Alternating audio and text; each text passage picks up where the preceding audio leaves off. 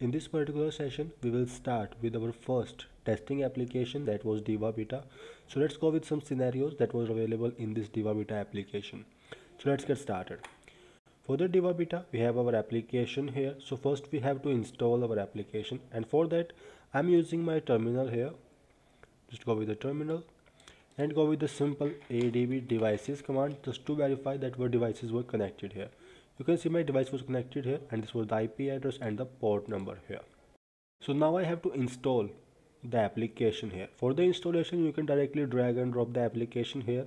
Or if you want to perform your actions from the CLI then you have to go with some basic commands. First of all navigate to the folder where your file was stored like cd OneDrive GitHub MPT and application here we have our application with the name diva beta. So i will simply install the application with adb install and the application name here is diva-beta.apk this was the application name. And just hit enter. Just verify the application has been installed and you can see here application is installed.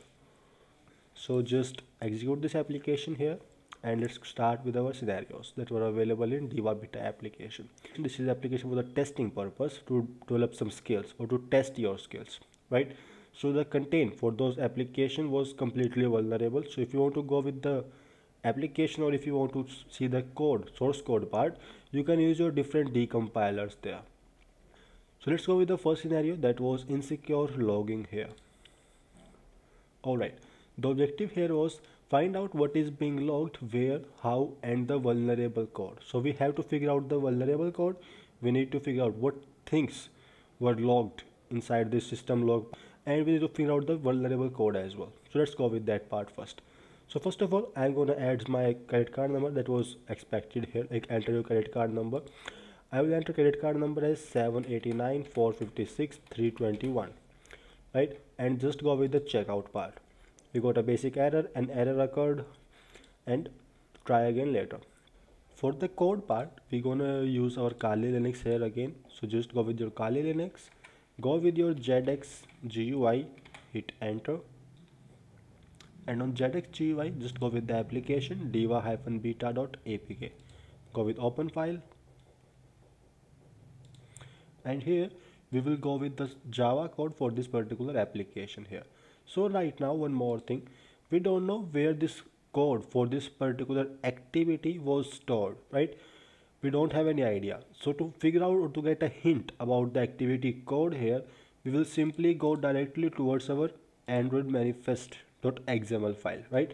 And we will look for any activity that will relate the name with this logging part.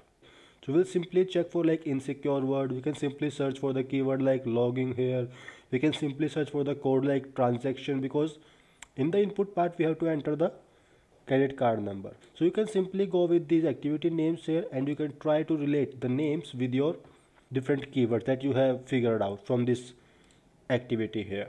So here if you just go with the first activity here you can see the name was jakhar.aseem.diva.log activity. It means that particular activity was related to logging part so if I go with the source code, you just have to follow the same hierarchy in the folders part. Go with the Jakhar folder. Then inside Jakhar, you will get the Aseem and inside Aseem folder, you will get the Diva folder. And inside that Diva folder, you will get your log activity. So just follow this path, Jakhar, Aseem, Diva, expand this one and here you will get your log.activity class. We got this one here and this was the particular source code for your log.activity class if you go with the source code here you can see this was the basic simple class declaration part. Then inside the class we got two methods here. First one was on create and under on create we got two set of lines here that will be executed whenever we launch the activity. At the beginning or at the launch of the activity these two line of codes will be executed because the on create function always get triggered when we launch a particular component other than this on create method we got a checkout method here as well and we also get a method with the name process cc that may be used to process our credit card.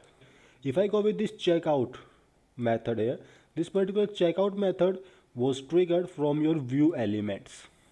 So probably this particular method will be triggered from your button here the checkout button here which is again a view element. We know this part so this was again a simple declaration simple declaration for your you can say text input field that we have used here to enter our credit card number.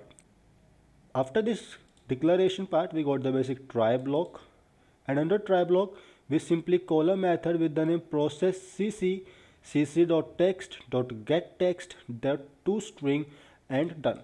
We simply call this particular method here with the name process credit card which again accept an attribute that was of string type. If you simply call this method this will execute a basic command and the command was throw new runtime exception. It means this will simply trigger an exception.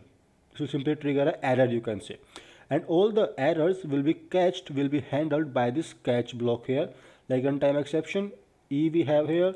And inside this catch block we can see we got this log.e method that was used to write your logs inside your system logs here right? And the message that was written inside the log was diva hyphen log and we got error while processing transaction with credit card.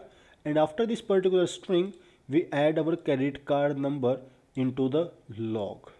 Adding any kind of user input or adding any kind of sensitive data on the logs is never a good treat so this was the main weakness here like you are adding your user input into the log part because all of the applications as well they also have access to these system logs.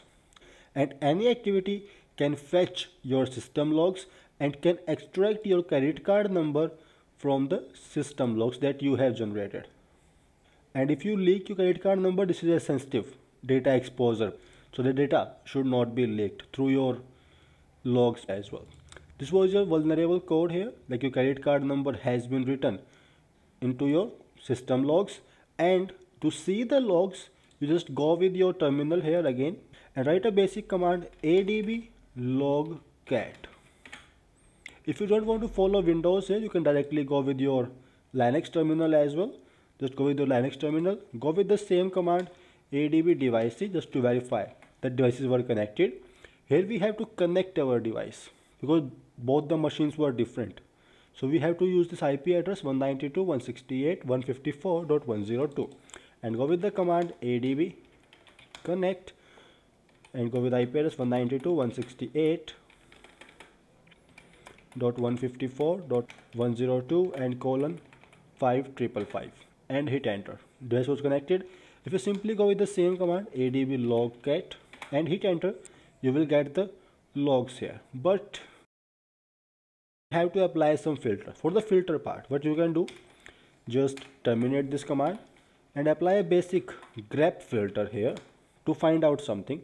Just go with the grep and I will simply filter out the diva hyphen beta word here. Or if you want you can also add some words from this string like error while processing transaction with credit card. You can even copy this text from your source code and you can add it here as well. Paste and enter. You will get the logs that contains this particular string. And you can see your credit card number was logged inside your system logs. These logs contain the records for like almost all the activities. They were not only for the diva beta application. If you simply search here for diva beta they were again other logs as well for from the diva part. If i go with simple diva hyphen beta and hit enter. Okay just go with diva and hit enter you can see. There were so many logs but we want to figure out where we get this credit card number here. So you can simply check your source code and figure out like if your sensitive data if any kind of sensitive data like your tokens your api keys your cookies your inputs part any kind of data has been logged or not. If it is logged then it was a weakness here. That's all in your basic insecure data logging. Have a good day and stay connected